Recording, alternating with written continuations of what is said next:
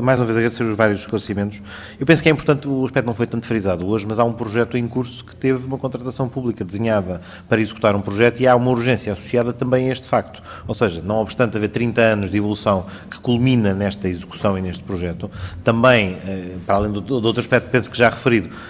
não só há escolhas a fazer, como há algumas escolhas que se impõem pelas circunstâncias dos factos. Ou seja, nas várias pré-existências, há uma que, apesar de tudo, não é, por ter não, não é necessariamente por ser aquela que ficou à superfície, isto determina que é aquela que ditatorialmente comanda as outras épocas históricas. Mas, regra geral, intervenções destas características, com estas características preservam aquela que é a estrutura que acaba por preservar na malha urbana, portanto, neste caso, a medieval, que até foi, podemos discutir a sua adulteração na década de 40 do século passado, mas esse, esse é outro debate, mas estruturalmente prevalece essa, como por exemplo, e um exemplo que nem é preciso ir ao estrangeiro, a um exemplo mais a norte, em Coimbra, a, a reabilitação do Machado de Castro, a, a, o que faz para preservar o criptopórtico romano é assumir que, naquele momento, encontra-se ali uma determinada estrutura de um determinado período histórico distinto e, tanto quanto possível, incorpora-se o que se encontra no substrato até onde isto é tecnicamente viável. O que temos uma vantagem é saber o que é que lá está, o que significa que, se calhar, daqui a 20 20, 30 ou 100 anos, com outras condições técnicas, os arqueólogos daqui a 100 anos poderão talvez encetar outras intervenções quando a técnica permitir, eventualmente, pôr nu, uh, pôr a descoberto outros elementos. Mas, portanto, uh, para, para, concluir, uh,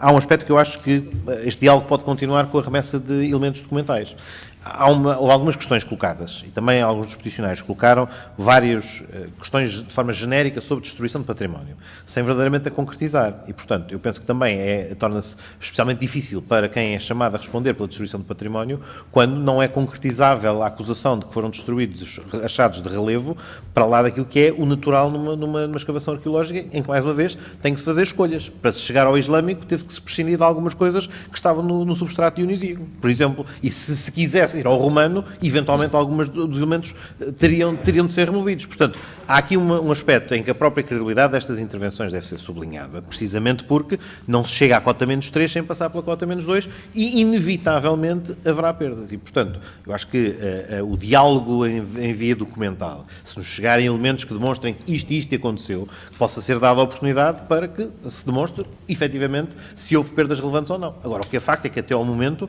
concretizadas perante nós, as questões que fomos colocando sobre a cisterna e sobre outros elementos, enfim, as respostas que, que temos recebido, podemos até discordar delas esteticamente ou em termos de, de, de, de programa de musealização, agora o que é facto é que elas resultam de um processo bastante participado, com várias décadas, com vários anos, e que, terminando agora,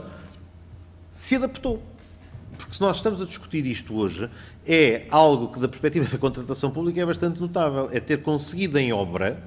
proceder a alterações que acarretaram aumento uh, de, de, dos custos e não perder a presença de quem está a executar a obra e estarmos na iminência dele poder vir a, a ficar concluído no primeiro semestre do, do, do próximo ano. Portanto, uh, ainda que não haja pressa na classificação, eu, aí a dúvida que colocava, e esta é a última, na verdade, será uma atualização das, dos termos da classificação, ou seja, do que está descrito na classificação da, da, Sé Patriarcal como monumento nacional, quanto muito. Ou seja, eh, porque uma classificação autónoma dos achados que já fazem parte do conjunto há mesmo aqui uma dúvida sobre a necessidade disso perante a lei, mas seguramente o que estará mais em causa é a inclusão destes elementos como fazendo parte do conjunto, agora que sabemos que eles lá estão, o que notoriamente não era o caso em 1911, quando foi feita a, a classificação pelo, pelo, pelo, então governo, penso que ainda ao provisório.